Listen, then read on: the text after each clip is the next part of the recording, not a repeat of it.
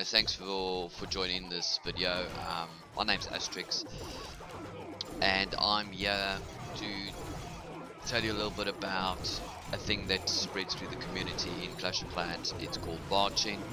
Um, a lot of you guys have seen how to do this, but this is two very good examples on how to actually barch and get your 50%.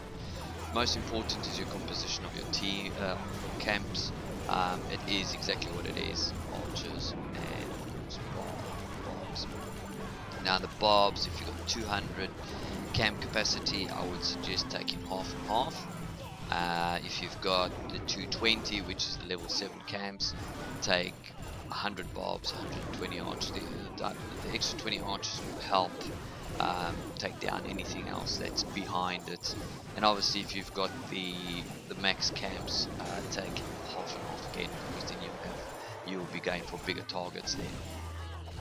Also, when it comes to barching, carry at least three or four lightning bolts. Don't use them all, it makes no sense. Keep them towards the right at the end and try and deploy your heroes right at the end as well. They don't need to go full ball into the attack until your, your uh, your army is actually destroyed quite a bit and you can see your whatever depending on your archer and kin level whether they can take down a couple more percentage.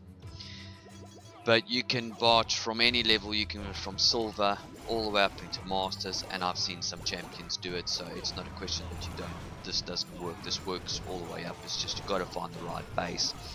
The video that you're currently watching right now, this is one of the best examples of barching that I've ever seen. Um, and it's for you guys to actually just study and say, right, this is how it gets done, then I know how to do it.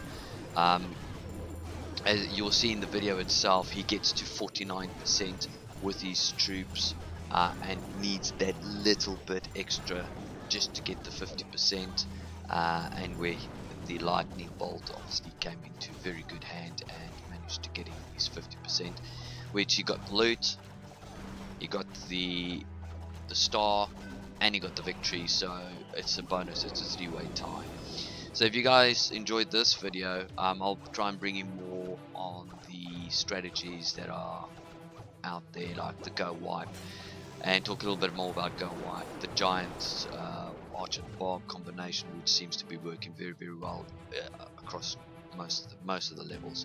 So if you guys enjoyed this you know what? Hit the like button subscribe to the channel meet us on Twitter and tell us your views. So for now just keep on clashing